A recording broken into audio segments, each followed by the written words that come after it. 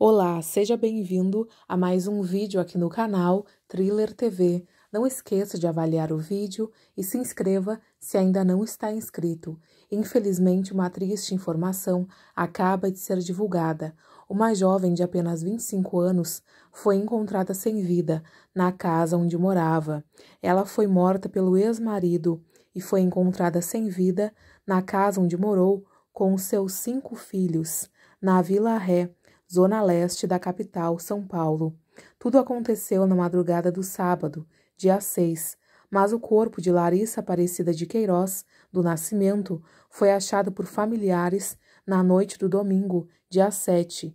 O irmão da vítima, que não quis se identificar, contou que resolveu ir até a casa onde Larissa e o ex-marido moravam, depois de tentar falar com ela por diversas vezes.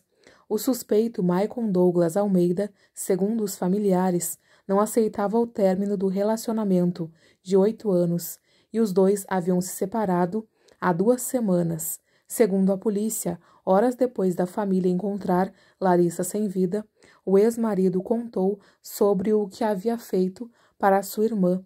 Ao descobrir que era procurado, Maicon bateu o carro em alta velocidade num poste, na rua Melo Peixoto, na região do Tatuapé.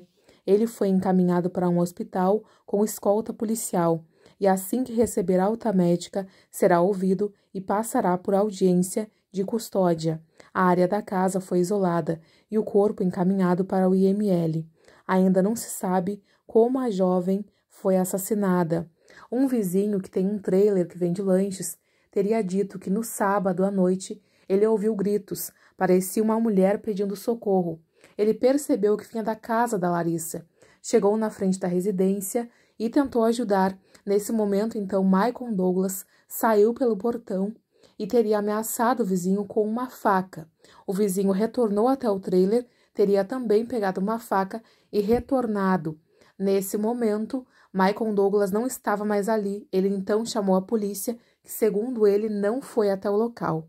Claro que essa história contada pelo vizinho vai ser averiguada tem como buscar se ele realmente ligou para o 190, se ele procurou a polícia e ninguém deu ouvidos. O que acontece às vezes a gente sabe, mas até que se prove o contrário, não tem como saber se realmente ele procurou as autoridades.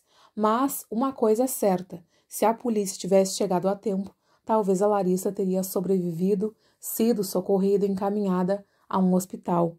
Chegamos ao final de mais um vídeo. Não esqueça de avaliar o conteúdo, compartilhe com alguém, deixe um comentário e também a sua opinião. Tchau, tchau e até o próximo vídeo.